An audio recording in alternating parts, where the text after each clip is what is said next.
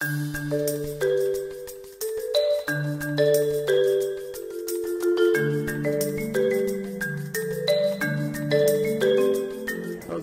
purpose of the network uh, is really to collaborate in clinical trials in lupus nephritis, primarily investigator initiated clinical trials that might not be done by industry and might not be done by anyone if we didn't do them, and also to collaborate in developing better approaches to the design of clinical nephritis trials.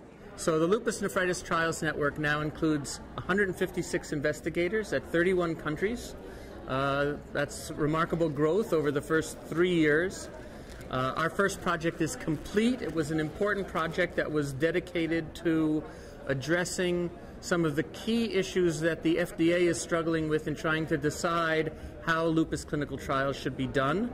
Uh, that project, which is called an evidence-based set of recommendations uh, for uh, uh, evaluation of lupus nephritis trials, has been submitted for publication and will be the first product.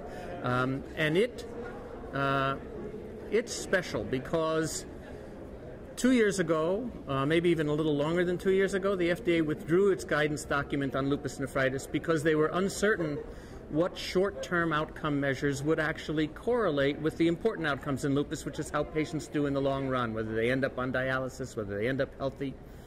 That was withdrawn because the key questions weren't answered.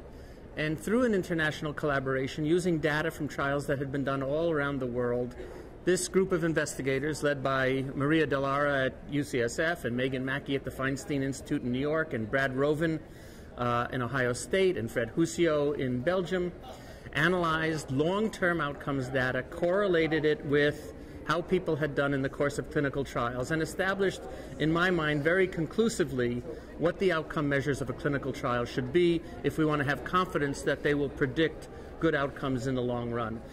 FDA has been engaged in that process. We believe that the results of this trial will have a very direct impact on policy and hopefully will shape the next guidance document. So we view that as a very proud accomplishment in the first few years.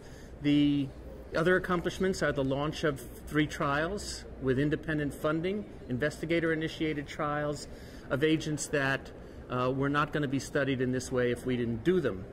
Um, and most recently, uh, the Lupus Nephritis Network has successfully completed for NIH funding to be part of what's called the Accelerating Medicines Partnership, which is a partnership between some of the lupus organizations and the NIH and several biopharmaceutical companies to look carefully in a way that's never been done before at tissue where the disease is happening, in this case kidney tissue, and really outline the mechanisms of disease with the idea that that will identify pathways that should be therapeutic targets.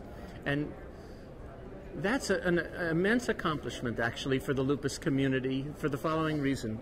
When the NIH decided to look a few years ago for select few diseases that they thought the time was right to really identify the pathways in tissue and make a big leap forward in therapy, they identified four diseases. One was Alzheimer's disease. One was type 2 diabetes, and one was rheumatoid arthritis, and the last was lupus. And we are proud because we don't think they would have chosen lupus if there wasn't an organized community that was in a position to provide the specimens they needed on people with lupus nephritis to do this kind of study.